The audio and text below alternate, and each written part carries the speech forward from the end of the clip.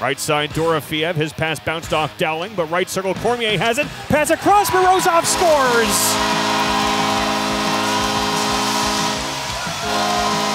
Quick puck movement off a broken play, and Ivan Morozov with the one-timer beats Martin. It's a power play goal, and the Silver Knights have a 1-0 lead.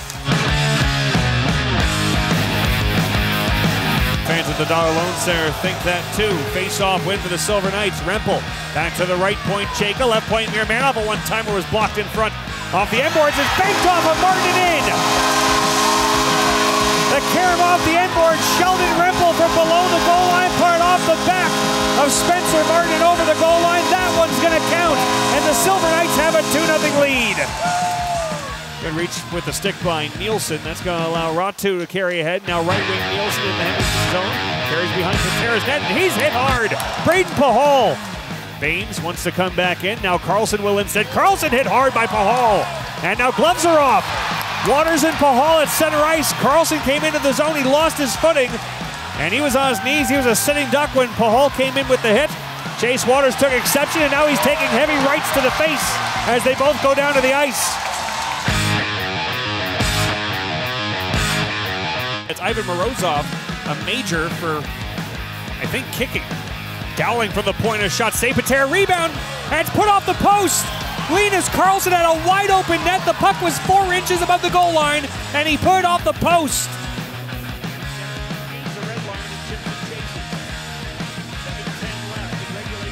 Bains out of the corner. Pass in front, and Nilsen scores.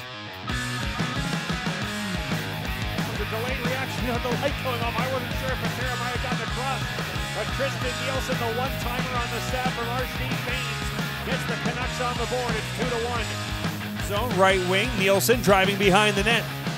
Near side still has it. Now he'll cycle it down low for Bains. Bains centering pass, score! Linus Karlsson in the low slot on the setup from Arshdeep Bains. We're tied at two.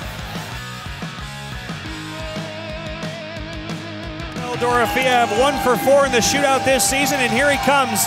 Left-handed shooter in the top of the first, weaving his way down the middle of the ice. Dorofeyev to the forehand, scores! Hoglander, a left-handed shooter, picks it up. Wide to his right. Now down the middle on Patera. Hoglander, the backhand rolled off his stick.